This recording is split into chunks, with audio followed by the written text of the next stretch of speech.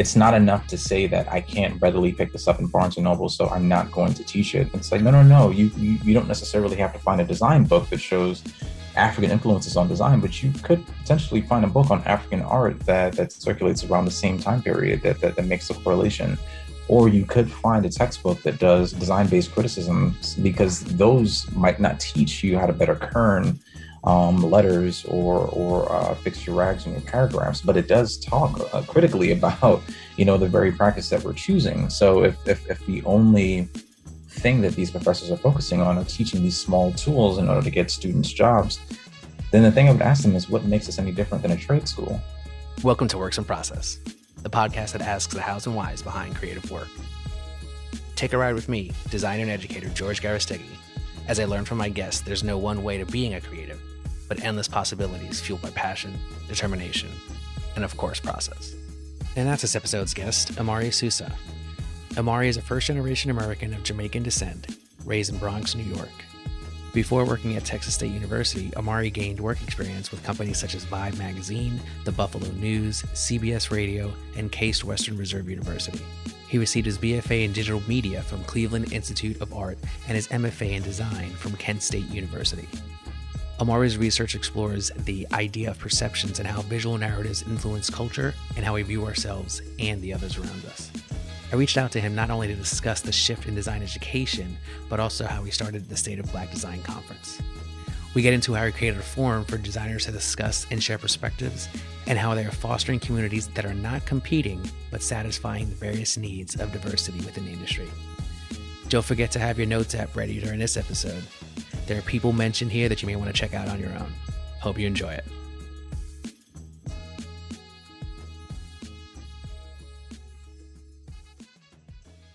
Hey, Omari. It's wonderful to get you on the Works in Process podcast. Welcome. Thank you. Thank you for having me. I appreciate it. So I know I want to dig into understanding not only your path into design, but also your push for challenging a landscape, you know, about who we talk about in the field more. But before we do that, let's do something fun. I have a series of this or that questions and then I'm going to have a series of word associations. Are you ready? Uh huh. Okay. Cool. Coffee or tea? Tea. Toast or a bagel? Toast. Yankees or the Mets? I'm not really a baseball fan, but I got to go with the Bronx. Uh, Yankees. Yankees all day. Texas or Pennsylvania? Texas. Teaching or research? Oh man, that's a tough one. Probably research.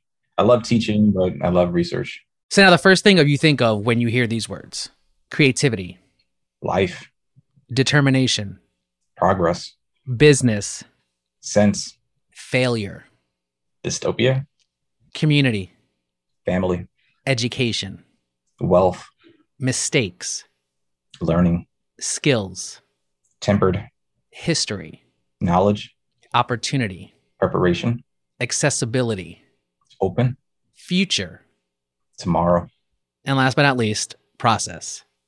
Systems. Now, a little bit of I use the beginning of the episode to kind of get a little bit more into who you are and what your come up is into, you know, the design and, and art industry. So um, I call this origin stories. And so, where'd you grow up, and were you considered creative or artsy as a kid? I grew up in New York City. I grew up in New York the majority of my entire life. Born in Brooklyn, raised in the Bronx the co-op city section to be specific. I was always a creative kid. My mom was an artist. Uh, she was a graphic designer when she was in college and dropped out when she was pregnant with me. But while i was growing up she would draw i would draw with her and we would have discussions about what she put out there. I also had an older cousin neville who was like my idol. He was 10 years my senior. Amazing illustrator. He went to uh, Daemen college in buffalo new york where he double majored in illustration and graphic design so I kind of followed in his footsteps. I'm nowhere near as good of an illustrator as he is. Probably not as good as a graphic designer as he is either, but you know, I tried. Is that just in your head or, or, or are you being just humble? No, I think my cousin's amazing. Do you think family played a larger role for you becoming a designer or kind of school? Family. I think realistically, where you grow up and the lessons they teach you and the things they expose you to kind of help you build a sense of identity. And for my family members, specifically my mom and my cousin, probably more so my cousin and my mom, like their sketches and their artwork was their way of self expression. My mother specifically isn't a woman of many words. Uh, she doesn't speak very often, but her illustrations and sketches are pretty expressive. And in a lot of ways, seeing them and then drawing and showing her my drawings was my way of communicating with her on a on a level that I felt that we couldn't be with words. And with my cousin, it was kind of my way of attempting to impress him because I was always so impressed by what he was doing. So if I could do something at an age that he couldn't do it, I felt like I was making good enough progress. So, in a way, family motivated me far more than school did. It's great to have those structures and the idea that there's something that bonds, you know, you and your mom, but also you and your cousin, and having almost that unspoken ability to speak in a creative way versus maybe having to actually speak you know, with words. And I think that's some of the things that we do as creatives. We're able to give emotion and kind of speak in ways that other people maybe just are not attuned to. So that seems like an awesome story to be able to have that with your mom as a graphic designer who did not finish her degree because um, did she get her degree? No, she did not. The funny thing is, so this last event that I did, Black Design Past, Present, and Future, we we did this uh, fundraising effort to try to raise funding in terms of scholarships for students. I recently spoke with my dean, and I told him that I wanted to name the scholarship after my mother. And I told her when I graduated with my first degree, I gave it to my mother and told her that it was my gift to her because she wasn't able to finish hers. So my undergraduate degree is her degree. And now I told her I wanted to name a scholarship after her so that if there are other students that, you know, are having difficulty finishing and they need that assistance, that there'll be something there for them as well. So she did not get to finish her degree, unfortunately, but her son is attempting to make efforts so that other people in the same situation will be able to. That's amazing. Congratulations. I mean, to be able to do that and to be able to, to work with your university to, to do that. And now your mom's name is going to be attributed to design and the supporting of of the youth coming up. So big on you. That's that's amazing. Congratulations on that. Thank you. I appreciate that. So with all of that, what was your first creative job and kind of how did you stumble into it? When I was in middle school, it wasn't an official job. My cousin Neville graduated from college, ended up getting a job at the Buffalo News. He would send me the creative briefs that he would have at the Buffalo News, and then it would be my homework to actually complete them. I think that if I did a good job, he would give me like a small stipend or something like that. It didn't go to publication. It was more just like a, a teaching uh, situation, but he would give me like these professional briefs and then ask me to come up with a proposal. Once I came up with a proposal, he would ask me to do the artwork, to lay it out, and then send it to him. And then he would send me what he did, and then we would talk about the difference. I ended up eventually interning for the Buffalo News, which is one of my first and biggest internships I also interned for Vibe magazine as well. And those were two of my first, I guess, positions. Your cousin Neville's always pushing you. He is. I'm currently writing a book. I actually reached out to him to see if he'd be willing to do some of the illustration work for it. So he's he's more than a cousin. He's like a big brother, mentor. If I'm if I'm out of line, father figure as well. Nah, it seems amazing. And I think sometimes we we need those people in our lives to be able to either bring us up or to show us what's possible. Those are those things and and you know, sometimes it is creative in the the artsy sense it seems like your family is or it's just support, right? It's just the ability to to have somebody on your side, somebody who believes in you, especially in a creative field where a lot of people from families of color, they don't really understand this as a career as much. They understand things that for them make money, get us out of our current situation and and help and support in different ways. And for me, I think sometimes the ability for us to use our brains and a skill in a different way is not as much valued. And I'm glad to hear that, you know, kind of you've been growing up with this kind of support seems like your whole life. Yeah. Yeah. I've, I've been really fortunate.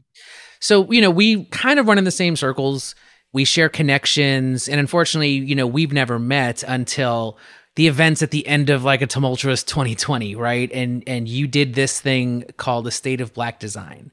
But before we get into that and obviously things that subsequently maybe even were the impetus for that i want to talk about your thesis. And your thesis at Kent State is is called Chasing Vertical Diversity and Recognition in the Field of Graphic Design, right? And it focuses on the investigation to gain a better understanding of why the design field has failed to attract African American students. One, an amazing topic. And so interesting that I haven't yet to download the, the, the PDF yet, but I'm I'm going to because I think you know this crosses over not necessarily just African Americans, but a lot of BIPOC students, and just like what the ability for people for access to understand what this is. But can you discuss finding this topic and how you first noticed that this was a theme? It came from experience. And I think it's an experience that a lot of color go through when they decide to jump into this field. When I attended my undergraduate college, I went to Cleveland Institute of Art, which is a college on which shares a campus with Case Western Reserve University. When I attended the institution, my freshman year, first semester, I was one of five Black students. By the following semester, I was one of four. And then by the time I graduated, I was the only graduating male in the college of my graduating class within a five year program. There was one other female, her name was Taylor. For me, there was this consistent feeling of isolation and, and difficulty with navigating that space. There were a number of microaggressions I had to deal with, especially considering for many of my classmates who came from, you know, more rural sections of Ohio, I was potentially the first Black person they met. So I ended up in a situation where I was unpacking not just you know my supplies to get to school when I, when I was in my classes to, to complete assignments, but also unpacking how my colleagues viewed people of color and whether they felt uncomfortable with me because I was a person of color, or they feared me because I was a person of color, or you know there was just a common distrust that they had of me. Um, these were all things that I had to navigate, and and there were things that I had to deal with that other students didn't have to. Um, whether it was being stopped by security more frequently and things of that nature, when I got into the professional field, it was kind of more the same. There weren't many other people of color, and it, it perpetually felt like lack of safe spaces. And it was it was really infuriating for a long time period because you didn't just have to be good at what you did. You you had to be near perfect because if you made a mistake, because you were one of the only, you're representing an entire community, not just yourself. And if you're in a space where there's a natural distrust for your community, the mistakes that you may make, whether bigger or smaller, wouldn't be as readily forgiven as someone else's. So it was this perpetual tightrope. So by the time I got to graduate school, Kent State felt like a more welcoming space, and a lot of the professors um, wanted to explore this idea of, of me being the only one. In my past experience, I wasn't the only one in graduate school. And it was just a natural uh, progression in terms of my experiences and people that I spoke with listening to that, I just want to maybe ask a follow up in the sense of going to that undergrad institution and having the weight on your shoulders of being, you know, one of five, one of three, and then the only male. How similar or different was that to maybe growing up in New York and maybe how diverse it is? Was there a similar experience or kind of a different experience? Man, it was a culture shock. Growing up in New York, the community was extremely diverse. You know, where I lived, there were a lot of Jamaicans, but where my grandmother lived, it was a huge Hispanic community. If I went into Manhattan, you'd be able to see a mixture of everybody. You know, especially if you wanted to play a pickup game of basketball. Uh, there was no, I've never seen this before, or I don't necessarily know how to interact with these types of people because, you know, they were part of your community. For me to then go to a space where a lot of my colleagues are coming from these homogenous spaces where they've never seen, you know, a Hispanic community. They've never seen a black community and their only exposure to these things are negative images that they see depicted on TV. It's extremely difficult. It's terrifying, in all honesty, because, you know, it's not just what they've seen. In my mind, anything outside of New York City is uh, uh, Rosewood uh, or Mississippi Burning, and that was that was my perception for a long time. I always knew that I was black in New York, but I never felt otherized in New York and it, it was it wasn't until i left new york and i was the only one that beginning to feel like the proverbial other started to set in. And it was it was really difficult. James baldwin has this uh, quote that he he talks about um, growing up watching cowboy films and rooting for the cowboys and then getting to a point where he realizes that he's rooting for the cowboys but he's actually the indian. Leaving new york i felt like the indian. I didn't feel like i was a cowboy anymore. And it was it was it was tough. It was a tough five years I mean, I think you put it really succinctly in the idea that in New York, you know you're black, but you don't feel different. Versus when you go somewhere else, the differences outweigh those things. And and and it almost makes it apparently clear that you are not the same. Because yeah, growing up as a New Yorker as well, you know, you're you're proud of your culture, you're proud of your your street, your block, your your borough, right? But you know everybody coexists and if you're growing up in a loving household, you know to respect and to love the food and the culture. And you go visit your friends and you'd be like, I'm to go to my, my boy's house who makes this. And, you know, my grandparents to, you know, kind of welcome me in. And this whole sense of idea, especially because growing up in larger families, possibly, but then going out there and, and, and not having that same reception. Obviously, you know that it's to be there but the reality of the actual experience I can see being very daunting. Um, so that kind of goes back, right? So I wanted to get an understanding of just kind of the theme and this thesis and and and the impetus for why this is something that makes sense to you. And now go to the in September, I think it was September of 2020. We're almost at the end of a global pandemic a crazy social justice and racial awakening. We're dealing with the ramifications of police violence on, you know, the murders of Breonna Taylor and George Floyd, amongst others. It's unfortunate that they're even amongst others, right? Just even say that. You know, I watched on YouTube the state of black design, but I can only explain it to as a viewer, not as an organizer. Can you explain a little bit to the listeners what this event was? So after the after the murder of George Floyd, there was a lot of anxiety nationwide. There were a lot of people that felt a lot of hurt, felt a lot of pain. There were a lot of students in our program that wanted to do something in relation to this, uh, whether it was, you know, how can design be used as a mechanism to, to, to create dialogue around this particular problem? A lot of my fac- fellow faculty members also had interested in interest in doing something. And the main thing that I was worried about when considering a, pot- a potential event was bringing other people into a space where they were being questioned about the black experience and being questioned about how to make you know spaces safer for them. And rather what i wanted to do was create a platform to allow black creatives black designers to to kind of speak freely about the things that they wanted to speak freely about and and and allow an audience to respond to that versus placing them on a stage for the, the audience to bombard them with questions at an already difficult time period. There were a number of people that I had met over the years that I thought were amazing. Maurice Cherry, uh, I interviewed for my thesis and been a long, long time fan of Revision Path. Teresa Moses, I met at Hue conference and always thought she was amazing in the work that she does. She doesn't necessarily accept it when I tell her, but I feel like she's the modern day Emory Douglas. You know, there were uh, Lauren Williams, um, Larry King, who was one of my thesis advisors, Antoinette, who is amazing, Becca Markham, so many people, Erwin, that that, that came and uh, when I reached out to them and had these conversations and were more than willing to share their experiences and talk about things they, they, they wanted to talk about. In the discussions before we came up with questions or anything like that, a lot of us huddled together to kind of you know discuss what what is it that you want to get off of your chest in this time period? How do you want to react to this moment? And that's where a lot of the questions came from. It was really me wanting to build a safe space to allow people to to speak especially considering there were a lot of black designers who felt that larger organizations didn't adequately make room for us. Um, so it was revolutionary in a sense that not only were we responding to something that was happening in the moment but we were also responding to the fact that you know we are attempting to make room for ourselves in this industry that hasn't made room for us. There, there, there are numerous conferences that prior to that point you would look at, and there wouldn't be many, if any, Black people speaking on the lineup. So for this one, and for where the Black designers and for Black Ignite to have the success that it had within the year of 2020 was was amazing. It showed that there is actually an audience for it and people that want to hear the voice.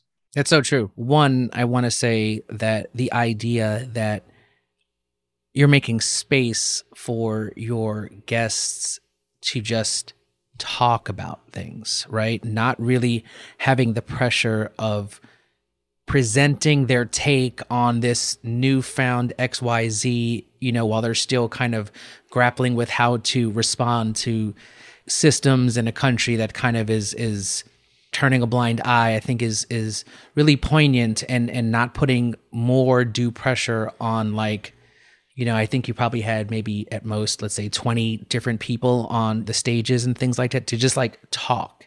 And almost, you know, I don't want to say vent, but I want to say just express their opinions and their points of views on things that need to be addressed, you know, as a black community, as people of color, as talking about systems that maybe weren't made for them and and how they would like to see this shift start to happen.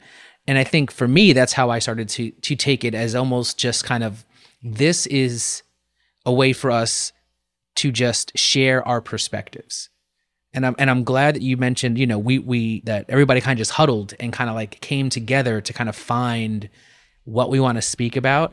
Cause I think that was the most important factor of just watching their viewership is to see all the people on the panels talk about this stuff and realize that some of these people have been doing it for a long time. Like I know Teresa, I know Antoinette, I know a couple of those people who, you know, Jennifer White Johnson, and some of those people have thankfully been on my my podcast as well. But some of them don't get the acclaim or whatever just because of who they are, where they are, what type of design they're working on, right? Which doesn't seem to be quote unquote as elevated as other types of design. And I really uh, applaud you for just allowing that space to happen.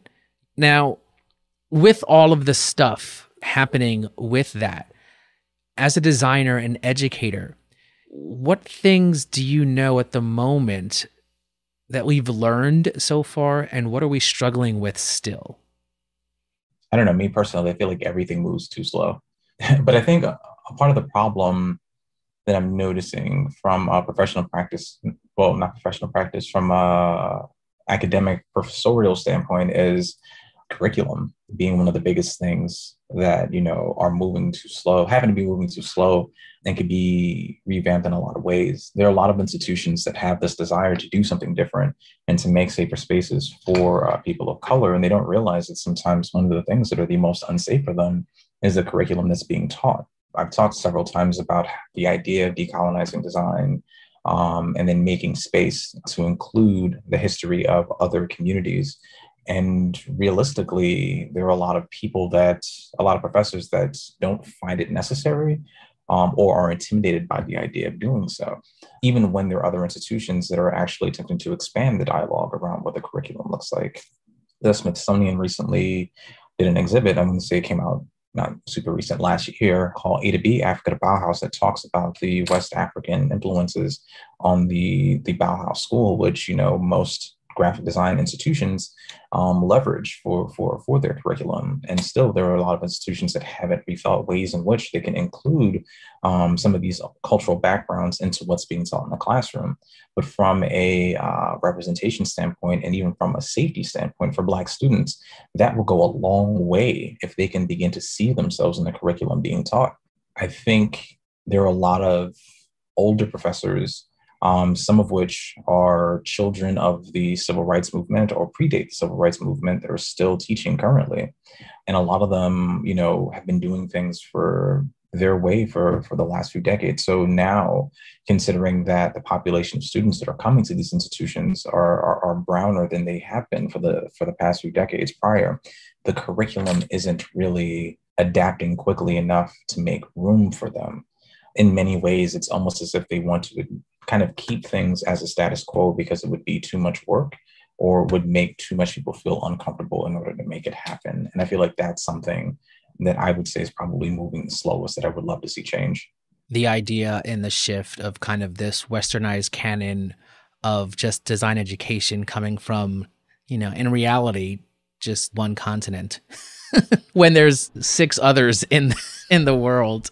Each have their own uh, cultural form of expression each have their own rule sets in terms of how they uh, communicate via uh, written symbols, written glyphs.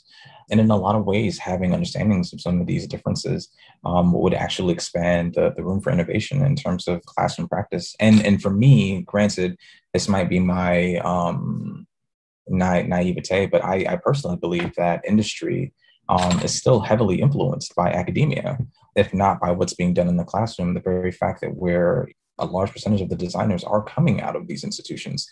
So if we change how we teach, we then, you know, change how the in- industry practices. And I mean, I think you mentioned the idea of just decades upon decades of, of doing something a certain way, right? And textbooks and bodies of knowledge that come from a lot of these schools come from one central point. And a lot of people use that as like the definitive way of talking about art, aesthetics, creativity, workflow. Now, obviously, it's because there's so many perspectives on that similar thing, so many books, so many written history and, and understandings of those things. Now, to counterpoint, though, when we're talking about all of these other ways of making, understanding influences like we just talked about quickly the you know the african american masks or aesthetic on the bauhaus those are not as out there that textbook is maybe one dusty thing in the back of the library versus 17 versions of the same book in the front. How do you think we start to expand that where those things start to become more universal senses of knowledge, right? Because I think just as on a human level, you have to believe that there wasn't only one continent doing things. And you're going to tell me that things are not happening at the same time and I think how do we start to identify what's happening at the same time in the Renaissance, let's say in Europe and Italy, and what's happening in possibly Egypt, Morocco? How do we start to identify those things? Because I think maybe what we're, we're also saying is that there's not a lot of info for those people who've been doing it for so long to gain extra knowledge. No, I, I think that makes perfect sense. I think um, them not having access to design based uh, material that they can then leverage for their teaching um, makes perfect sense. I think for myself, I would think about it in the same way that we teach design problems. One class that I teach is a design seminar, and a framework that I typically tell my students is this X, Y, and Z framework. I'm investigating X through Y methods to better understand and facilitate Z. X is uh, the main thing. It's it's it's the main thing that I'm investigating, and Z is the main outcome that I want. So, as a professor, if my goal is to facilitate a safe space, to facilitate a safe space for students of color, to give them the necessary design materials, but also allow them to see themselves within that, there's a certain level of investigation that I have to be responsible for as a professor. And if I'm just saying as an academic that there is no resources for me, then it's me kind of just being lazy. I'm doing a lot of my own research and currently penning two books but that's research that I've decided to do because I thought it was valuable in the same way that my, my thesis research could have been on anything, but I researched on something that I felt like could be beneficial for the audience at hand. So while I, I do get it, no, there is no textbook on this. I, I don't accept that as a as an excuse. And and in reality, how many of our professors that are currently teaching have self self taught themselves something? You know, um, whether it's you know, so be, begun the process of self-teaching themselves UX methods, UX UI methods, begin self-teaching themselves how to do um, create their own typefaces or, or or or hand lettering things of that nature. So for me, it's it's it's not a it's not enough to say that I can't readily pick this up in Barnes and Noble, so I'm not going to teach it. It's like no, no, no. You you, you don't necessarily have to find a design book that shows African influences on design, but you could potentially find a book on African art that that circulates around the same time period that that, that makes a correlation. Or you could find a textbook that does design-based criticisms because those might not teach you how to better kern um, letters or or uh, fix your rags in your paragraphs, but it does talk uh, critically about you know the very practice that we're choosing. So if if if the only thing that these professors are focusing on are teaching these small tools in order to get students jobs, then the thing I would ask them is what makes us any different than a trade school? And I, I think to also add to that is to the fact that people are willing to be self-taught in things that they see value in. And and thinking about how much value do they see in this additive knowledge right? If they're not willing to do the extra work right? And for me i think it's it's maybe a disservice to think that you know we as educators are experts or right.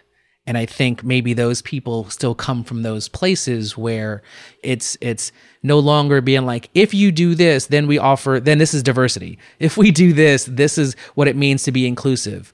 Maybe but then some other something else happens in a year and we realize that that's all bs right? I, I think maybe the ability to you know, I'm gonna use your term, um, stop being lazy, but but I think there's something to be said about that is the willingness to be okay to learn.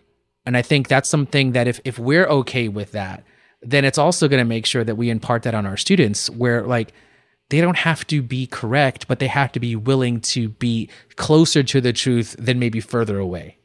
Yeah, exactly. And it's funny, there was a, I was talking to some of my colleagues uh, right after I did the state of black design. And one thing I was talking to them about, Texas State actually happens to be a Hispanic serving institution.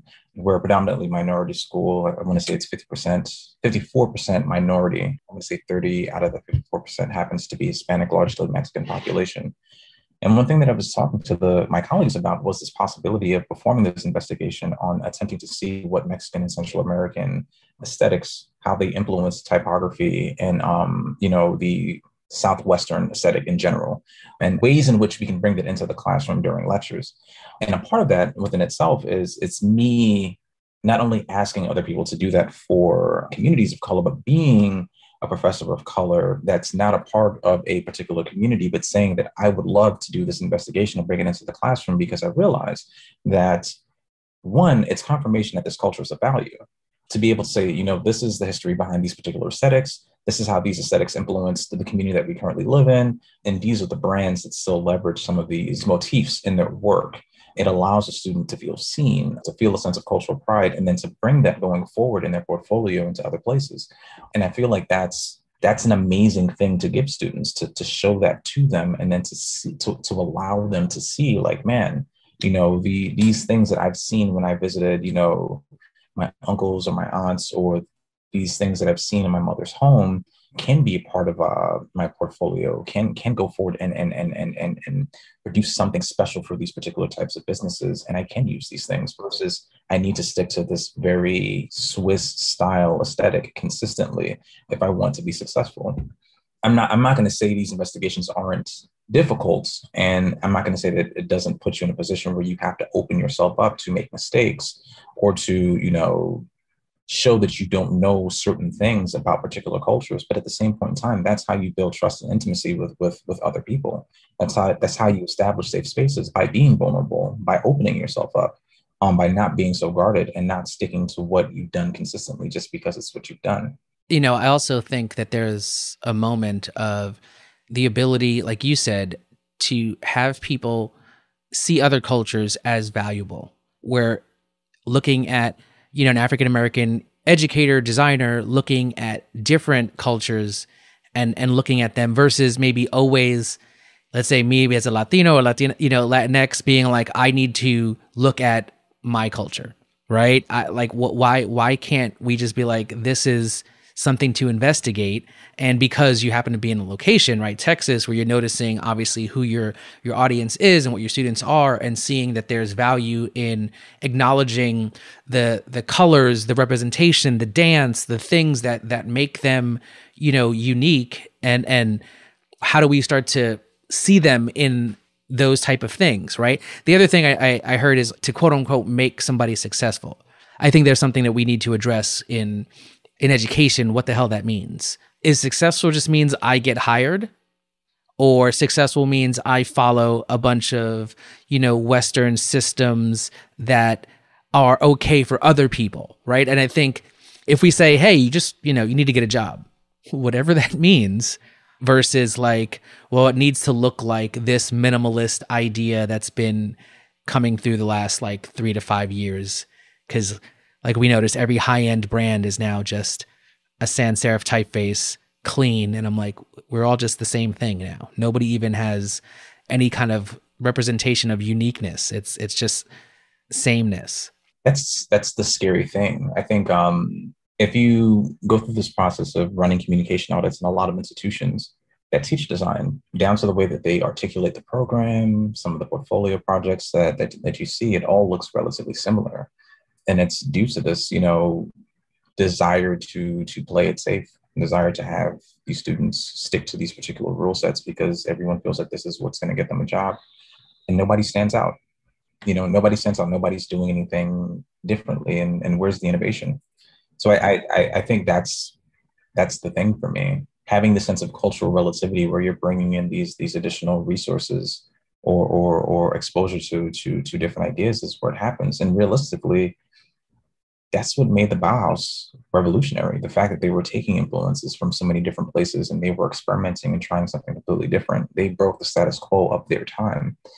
I think it's time that we do the same. You when you think about what you're doing and you know in September you're taking which I think was about a 4-hour event in the state of black design and then looking at in April you created, you know, what, 6 7 months later you said Let, let's let's make this a 2-day conference, right? Black design past, present and future.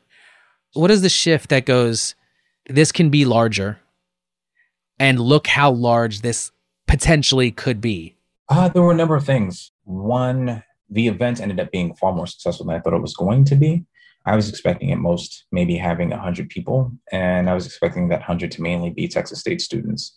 And um, we had about 3,600 people that registered for the event, with about 2,000, 2,100 people who watched live. It was more than 100% uh, increase to what I thought it was going to be initially which was a lot. Once that happened, getting feedback from uh, colleagues and uh, members of the administration of my department about asking what my next plans were. My next plans happened to be getting emails from people who attended, them telling me how it made them feel to see the event. An email that I, well, not an email, a Zoom meeting that I had with Cheryl Miller, uh, where she challenged me. She told me that she felt like having an event where people were simply talking about issues wasn't enough. And if we were going to talk, we should also try to find a way to, to, to create some solutions, which resonated with me. And um, it put me in a position where I needed to think about what impact I was going to have outside of building a safe space. After that conversation in my mind, wasn't simply enough. So I thought about my thesis. I thought about this idea of uh, scholarships, I thought of this idea of building a pipeline and thought of adding, you know, a career fair and scholarship as an as an add-on to the event. If I could use it as an opportunity to raise funding as well as feed people emotionally, mentally, I could create a pipeline for students who are attempting to get into graphic design as a practice. And if I can bring sponsors and recruiters, I can use that pipeline to get them into the door for positions that they um, were unable to get into prior. And fortunately, a lot of companies, a lot of folks who watched the state of Black design worked at companies that were interested in um, recruiting people of color and contacted me looking to, to establish some of those connections as well. So it was relatively easy for me to find some of those companies. And granted, some folks went above and beyond.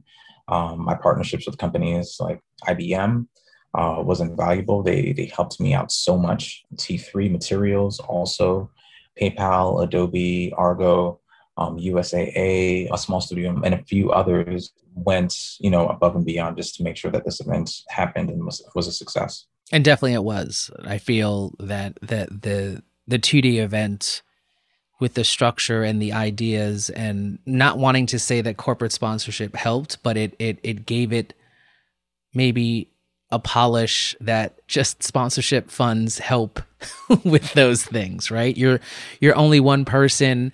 Obviously, you probably have a team of people who are who are there to support you, but it takes more people to be able to pull off something like that. And so to me it seems like that kind of just continued to push the idea forward. And of course, when Cheryl Miller calls you out, you need to listen. It's one of those things where you need the other people who are looking at like the long game to be able to notice where you fit and how to kind of nudge you in that direction. Like, did you think you were going to accomplish that much after that conversation? Like, did you know where the limit was? I still don't know where the limit is, to be honest. I feel like I come up with ideas and I pass ideas by people. Sometimes I intentionally pass ideas by them to try to see if it makes them feel uncomfortable. And what's been scary is a lot of people have been like, okay, go ahead, you can do it. Then that makes me nervous, but I, I somehow managed to pull it off. I mean, there, there are a lot of things that I would love to continue to do. There are a lot of new things that I'm interested in trying. It's just a matter of a getting the funding to to, to pull them off and b hoping to to attract the audience to, to to make it happen i know we definitely would love to for the next event have uh, some folks in person so right now just trying to figure out how we can make that happen to go back to the idea of bringing up this this this idea and then getting a go ahead and then looking at how to pull this off for you. And let's talk about you know the black design conference. What to you was pulling it off? I think it was a number of things. I think for one for the first event my main concern was being able to allow people to speak freely. But my concern was also the potential of me getting in trouble for allowing people to speak freely um, one thing that I often say to a lot of people is that diversity, D&I work is extremely sexy until it's not. And until the right person complains about it, then it, it can easily be a situation of I'm getting my hands slapped or worse. Not necessarily saying that's ever happened to me at Texas State. It hasn't.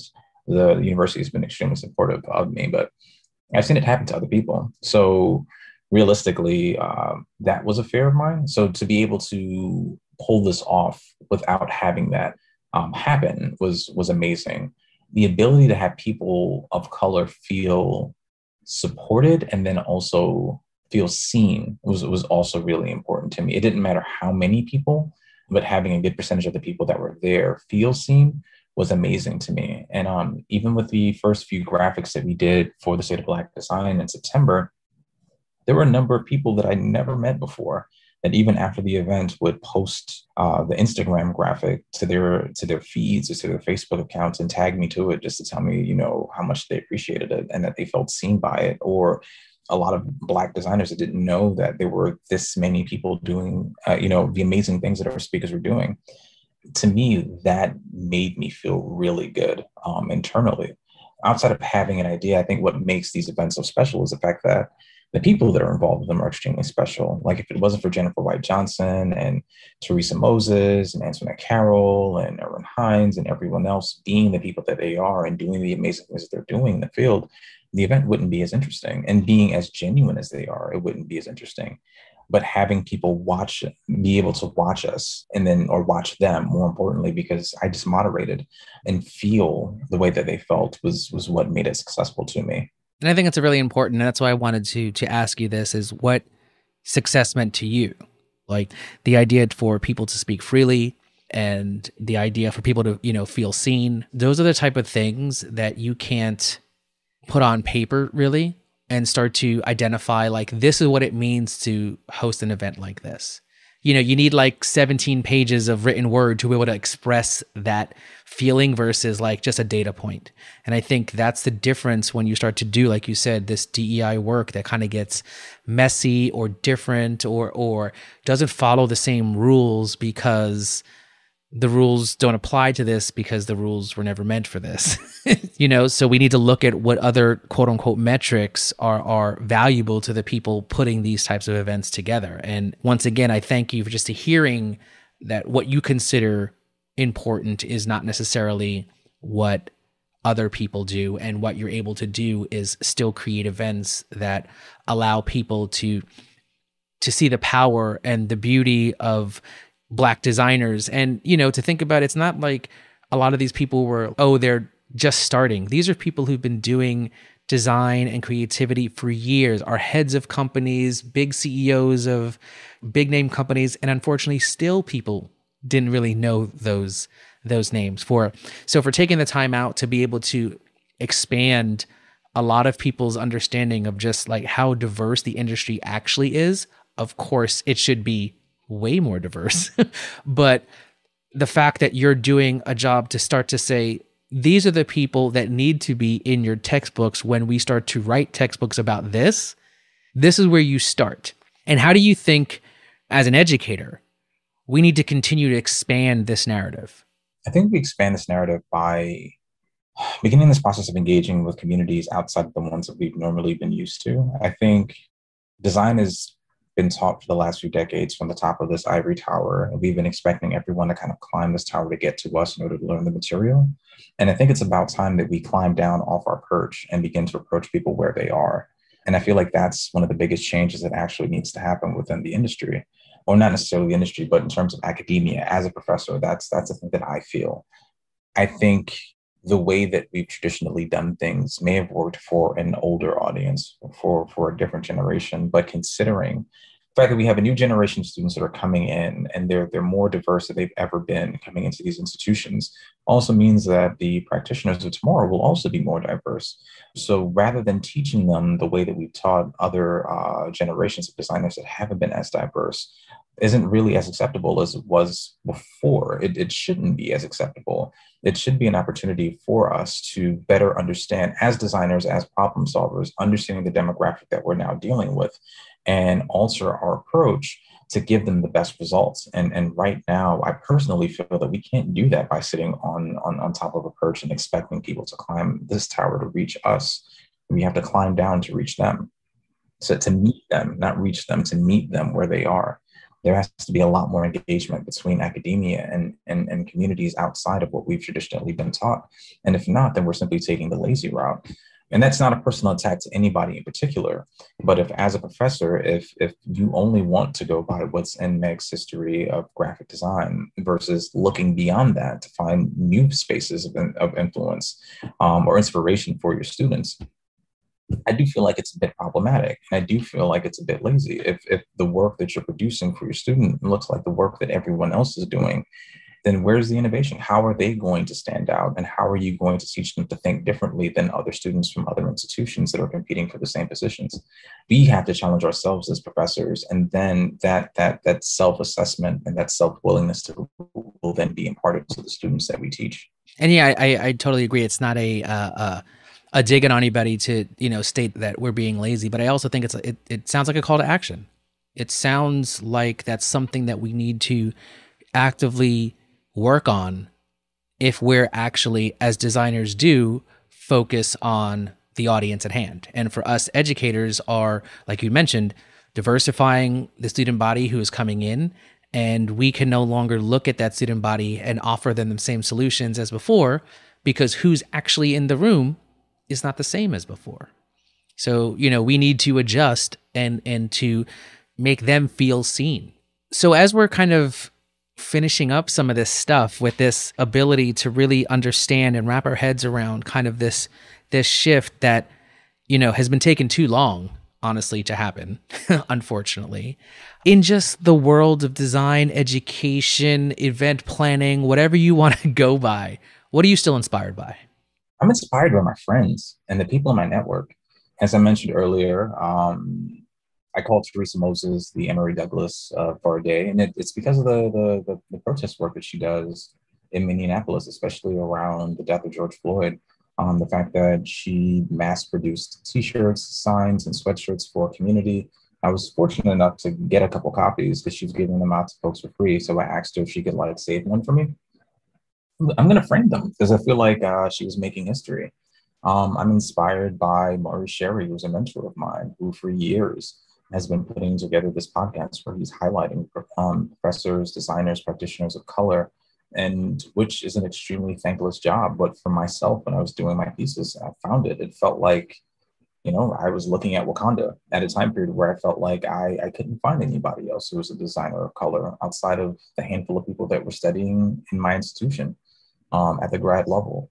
I'm inspired by Jennifer White Johnson and her advocacy for disabled communities. I'm inspired by Becca Markham and the work that she's doing in Instagram and her recent venture um, with Maxwell for um, on Instagram designing while black. I'm inspired by Mitzi and Where Are the Black Designers. I'm inspired by Heather Lee and Black Ignite. I'm inspired by everybody that wants to make a change. I, I did an interview for uh, with IBM, and I talked about a friend of mine named Ophelia, who's also from Jamaica, and she was telling me about her upbringing and the fact that while she was growing up on the island, everyone in her family was required to grow something. Whatever they grew was brought to the table, and it was kind of this this this uh, tool to kind of instill this this sense of community and responsibility to community and I, I, I see that with with all of uh, the people that I've mentioned, where everybody is growing their respective fruits, and then we bring it together for feast. And I think that's the that's the thing that inspires me and makes me not want to stop. If if I stop growing what I'm growing, then something is missing from the table, and we all are focused right now on on feeding the community. So we that's that's what inspires me most awesome i mean you know just the the the ability and the the metaphor of using the the body of knowledge as as parts to a meal that we're all part of this thing and if something is no longer there, then some part of the meal is is is missing. Thank you for that because I think that is a very powerful statement. So conversely, I think to the original the other question was what part of the process do you still struggle with? I still struggle with making connections. I have a network of people, but my network is just is but so big. I, I struggle with funding, um, as is every other organizer uh, who's trying to put something together. And and those are the things that I'm always looking for. Whenever I speak at any events, I'm always letting people know that I'm always open to collaborating or assisting in any way that I can. And I always mean that. But those are those are the areas that I struggle most. I'm still a young professor. I'm only 35 tomorrow. For me, uh, my list of contacts and connections might not be as extensive as a professor who's been doing it for 10 years my senior. So those are those are the things that i still struggle with. Well early happy birthday. When this comes out you'll already be 35 one of the things i want you to think about is also think about you growing up in new york. What advice would you give your younger self entering design and advertising today? I think perseverance. Undergrad was really difficult but I feel like the experiences I had in undergrad prepared me for what it is I'm attempting to do now. I don't know if I would have told myself to do anything differently outside of maybe finding a cheaper university to go to. I think the lessons that I dealt with, I needed to learn because it helped build the muscles necessary to organize the way that, you know, I have to now. The discomfort that I felt as being the only one, it's still the discomfort you feel with putting programs like this together because there still aren't many black professors at my institution. So a lot of this does still fall on me. And even while organizing, it still makes people feel uncomfortable. You still have to respond to particular emails or field uh, responses from certain students that feel, why is this a black event? Yada, yada, yada, yada, yada. So there, there, there's certain things that I navigate that, that do remind me of undergrad. The only difference is outside of looking forward to graduation, these events have a quicker return, quicker social return for me than than what I did in undergrad, and that's what makes it worth it for me.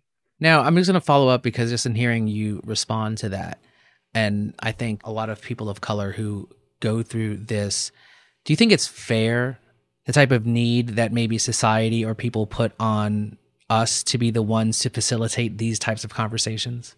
I don't think it's fair at all. I don't. I, I don't think it's fair in the slightest bit, I just try not to spend time worrying about it. It just becomes one of those situations where if there's a need and it's going to get done, someone has to do it. And if it's me because I care about it and, you know, because I was, you know, someone who could have benefited from someone else doing it when I was a student, then I'll do it. I have two sons and they're little boys, so they can be messy. And, you know, if there's a sock in the hallway, and I ask one of my sons to pick it up, it becomes a situation where one will say, Well, I didn't leave the sock there. And the question that I'll ask them is, Does it matter? There's a sock on the floor. You live here. This is a space you have to occupy. Pick it up, put it to the side.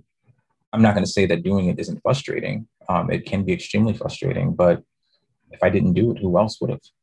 Agreed. It's just one of those things I wanted to because I in, in the back of my head sometimes you you have this this conversation that do we have to be the only ones fighting this fight? And I, I agree it's un, it's unfair, but at the same time, if we're not the ones doing this, unfortunately, at this moment in time, most likely this conversation is not happening. I think for myself, the thing that I just keep telling myself is the same thing that I mentioned in terms of like bringing fruits to the table for the feast itself. If I look at the community that I've been able to foster, and hopefully the people that I continue to build community with, I feel less as if I'm doing it alone and more as if I'm a part of a network of people that are doing particular things. And that's what normally makes it easier for me. If I didn't have the Mitzies, the Heathers, the Terrys, the Jennifers, the the Beckhams, you know, it and, and the Maurices, it, it, it would be extremely difficult because I would be completely isolated. And even though none of them live in the same city as me, outside of Terrence Moline, who's another good friend of mine um, and runs African American graphic designers, I don't know mentally if I'd be able to do it all.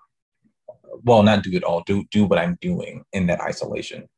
So I, I think that's been beneficial for me as well. Well said. So as you mentioned before, you're in the process of penning two books, but are there anything else that the future holds for Omari?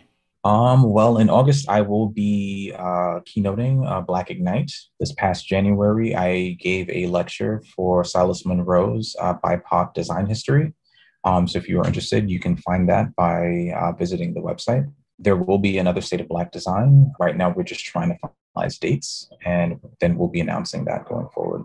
And where can more of my listeners find out more about you and connect with you via social media?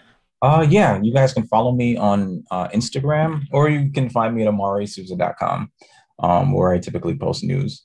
I just want to say thank you. It was really great to have this conversation. I really appreciate you digging into more of the emotional connection about not only the reasons you decided to do this, but what it really means to bring community together. And I think that is really important and something that I don't think a lot of people outside of maybe BIPOC communities truly understand that it, it is it is really a bunch of people working together to be able to feed the table. And I really appreciated, like I said, that metaphor and and that approach to thinking about why all of these things help and support each other rather than compete against each other.